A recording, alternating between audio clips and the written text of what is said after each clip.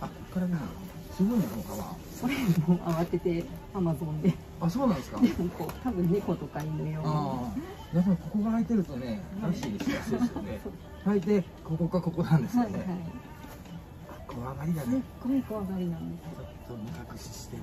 大丈夫わかります飛ばないでね。結構重いな。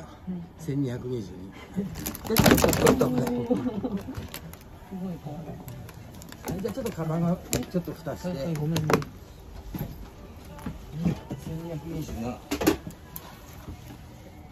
体重測ったことありますあ数回やりますありますここんなぐらいあるんですこの子そうでもあの振り切れちゃってもあのね。測りがあ1キロまで1そうか2キロの測りない。やつだねはいじゃあちょっと顔見せてもらいますね、はい、両肩持ってでそー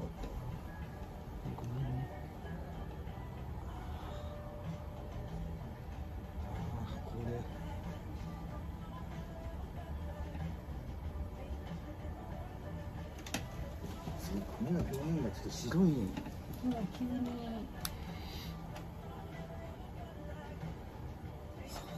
角膜炎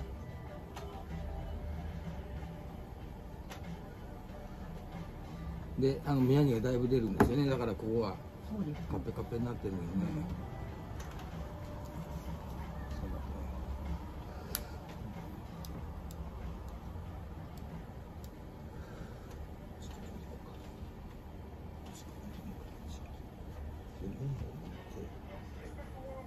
でそれだけじゃなくてさ、左目これ。あ入るか光わかりました。ちょっと全体に身体検査しますね。はいあ綺麗ですね。から歯茎の色舌の色赤みがあったピンク色してるからはい。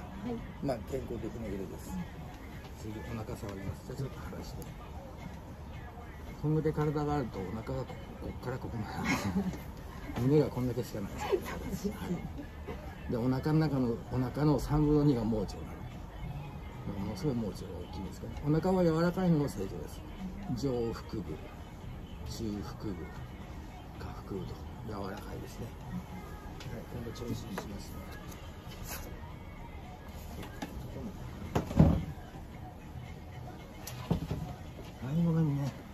はい調子にします。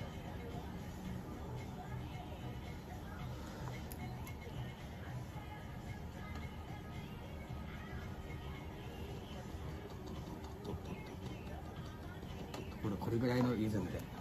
心拍数は300超えてますね。で聴診はり心臓の音？はい。トトトトと。正常です。はい。それから呼吸音も正常です。呼吸音が聞こえないのは正常なんですけどね。一つぐらいひっくり返って。ねはいじゃあそーっと V 字にして。123はい。こうが